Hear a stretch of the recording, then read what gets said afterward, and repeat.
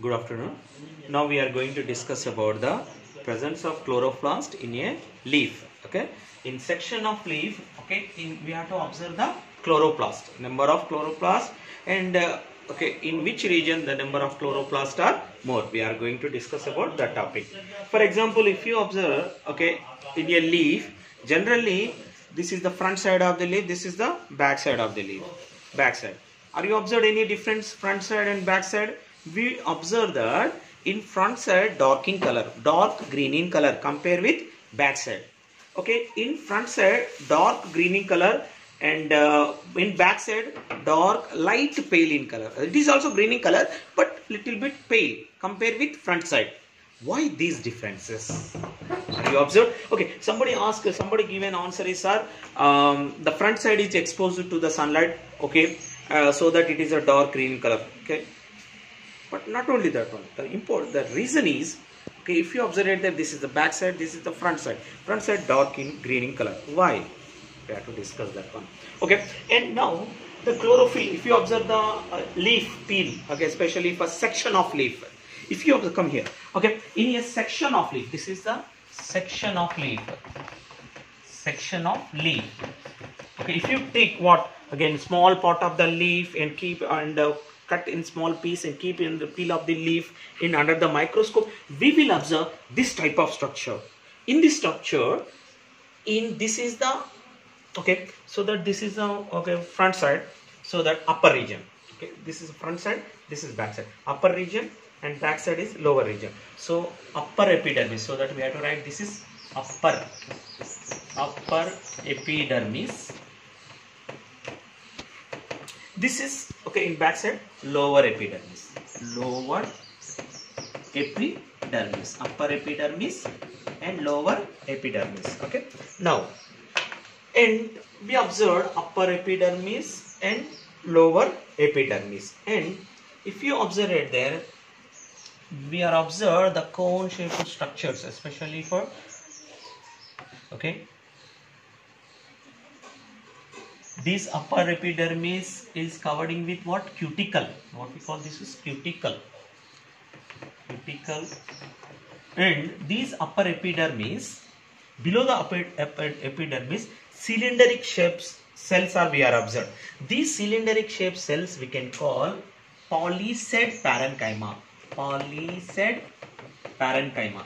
Already we learned about parenchyma especially and uh, in, in ninth class this is palisade parenchyma. And in palisade parenchyma we are observed some dot like structures. Focus this okay? Dot like structures. We are observed number of dot like structures in palisade parenchyma. Below the upper epidermis we are observed palisade parenchyma. Palisade parenchyma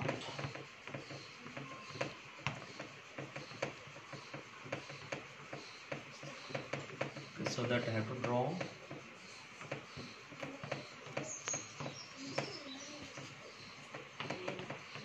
Palisade parenchyma and uh, below the palisade parenchyma we are observed these uh, cells. These are also cylindric in shape these are what oval and cylindric in shape these are we can call okay spongy parenchyma spongy parenchyma parenchyma cells which are useful to store the food materials. Okay in a section of leaf upper region lower region. Upper epidermis lower epidermis. So that have right? Okay this is lower epidermis. Below the upper epidermis we are observed some cells.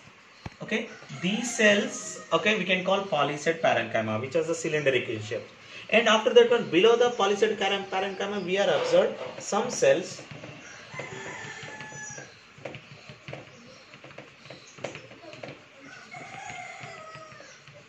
some cells especially we can call these are spongy parenchyma.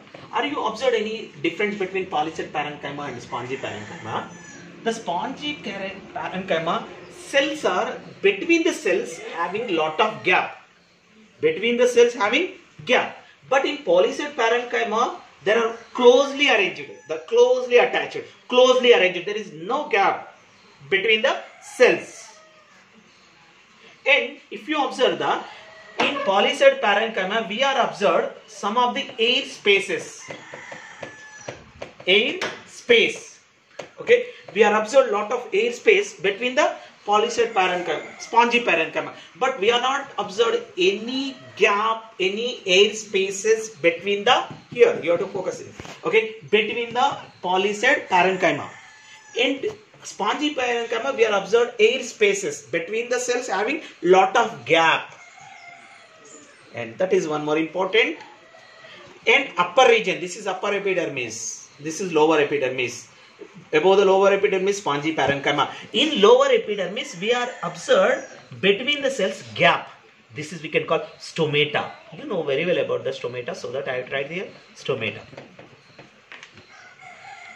Stomata. Stomata especially for we can call the respiration. The respiration occurs through which stomata only. That means what? Especially for the plant these are the stomata we can call nose of the plant.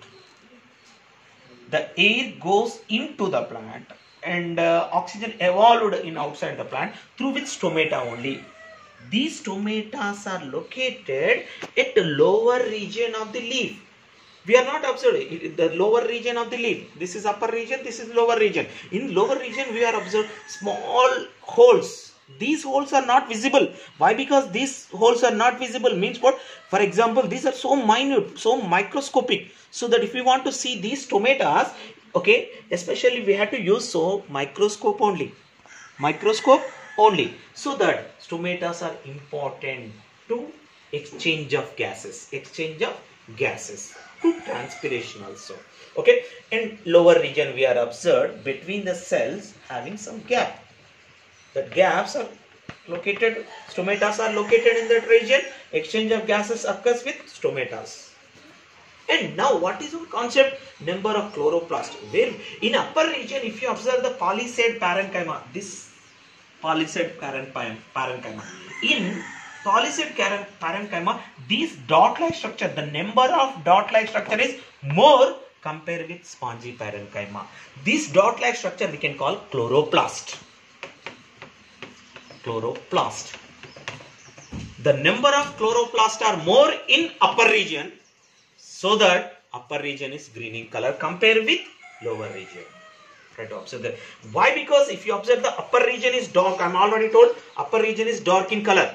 Why it is dark in color? In this region, upper region, the number of chloroplast are more compared with lower region. Lower region is a little bit pale in color. It is also green in color, but little bit. Why? Because here the number of chloroplast are less compared with upper region. Okay, so that in upper region the number of chloroplasts are more. These chloroplasts are what especially for kitchen room of the cell. That means what kitchen room, which is useful to prepare the food. That means in chloroplast, already you know about the structure of chloroplast. In chloroplast, what will be happen actually? In chloroplast the number of chlorophylls are present. These chlorophyll are useful to trap the sunlight. Okay? Thank you